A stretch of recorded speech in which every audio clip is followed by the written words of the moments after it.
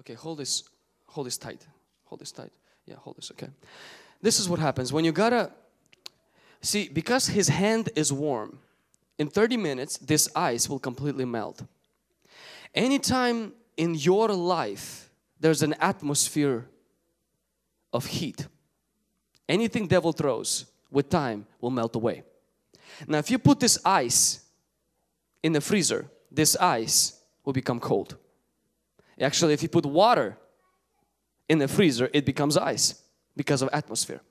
For the same reason, bananas grow in Jamaica, but they do not grow in Alaska. Why? Because of I, because of atmosphere.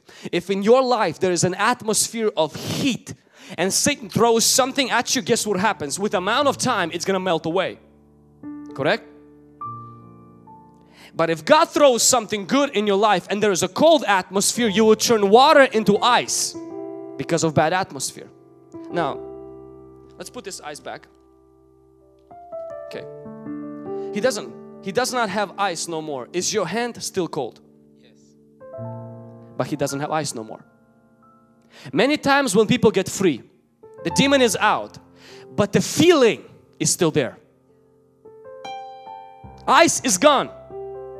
See, when you come and you give your life to Jesus Christ and you say, My life, I got a new life, but you go back to the same problems, you're like, But they're the same problems, nothing changed. See, the ice is gone, the hand is still cold. And if you keep on following Jesus Christ, your hand will get warmer.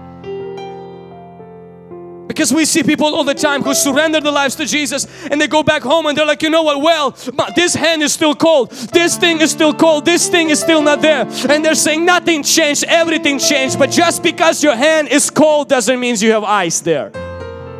You had ice before, but Jesus at your salvation and at deliverance takes it. And sometimes it could be weeks. For some people, it could take months for the coldness to go away. You gave devil 20 years to mess up your life. Can you give God at least 20 months to restore it? Some of us want to give God 20 minutes. The clock is out, Lord. Really? You gave devil 20 years. Some people seven years to get you in the hole that you are in and you're giving God few seconds. It's like throwing the ice. Okay, I want my hand to be hot. Just wait, homie, relax. God removes the problem.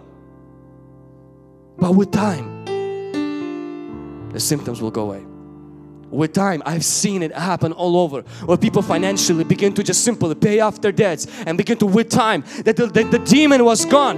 Nothing right away changed. What changed is the ice was gone and the hands start getting warmer and warmer more promotions more open doors peace at night. This and that begin to just simply fold. See revival is what God gave us already. But for some of us we're still feeling the coldness. Oh well well people were not getting saved. You need to forget about that because that is going away with every single service in Jesus mighty name. Hallelujah.